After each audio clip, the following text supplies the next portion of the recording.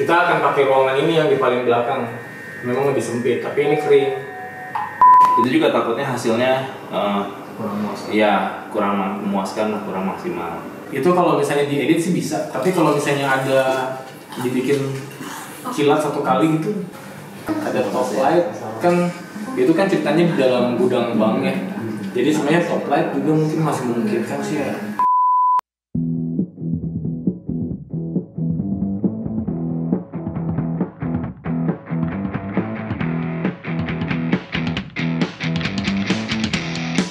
Ya, peran saya sebagai Pak Wira, eh, ia adalah seorang pengemudi ojek online yang sedang mengantarkan pesanan makanan sebenarnya ke suatu bank gitu. Terus eh, tiba- tiba-tiba dia terjebak dalam situasi di mana bank itu sedang terjadi perampokan. Jadi itu the right man in the wrong place sebenarnya ya. Nah itu jadi dia jadi ter- terbawa dalam situasi itu. Jadi dia menja- menjadi sandera bersama dengan beberapa orang eh, lain. Artinya ada pegawai bank, ada nasabah dan sebagainya.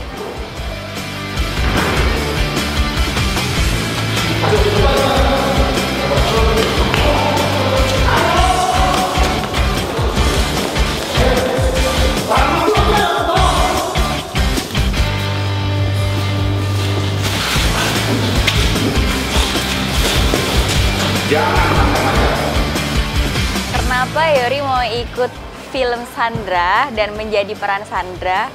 Karena itu tantangan terbaru buat aku nih pertama.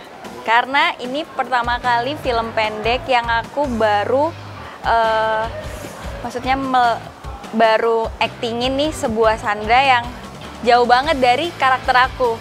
Maksudnya kan aku sehari-hari nih orang-orang kenalnya aku tuh aku ceria banget ya kan. Terus apalagi pengalaman-pengalamanku tuh lebih ke komedi. Ah, itu itu tantangan tantangan banget. Nah, di sisi lain aku aku tuh ada sisi introvertnya kan. Nah, di sisi lain itu Sandra itu aku yakin aku bisa meranin karena eh, sisi introvertku tuh eh, aku bisa mengekspresikan gitu kak. Ngerti nggak maksudku? Jadi eh, aku tuh kan juga orangnya sedikit sedikit eh, apa sih namanya penyendiri kayak gitu. Nah, aku lihat sih Sandra tuh kayak gitu. Makanya kan dia kan lebih ke berdoa untuk diri sendiri, ya kan? Dia menyemangati diri sendiri. Jadi kenapa aku yakin ya karena ah, kayaknya sih aku bisa gitu.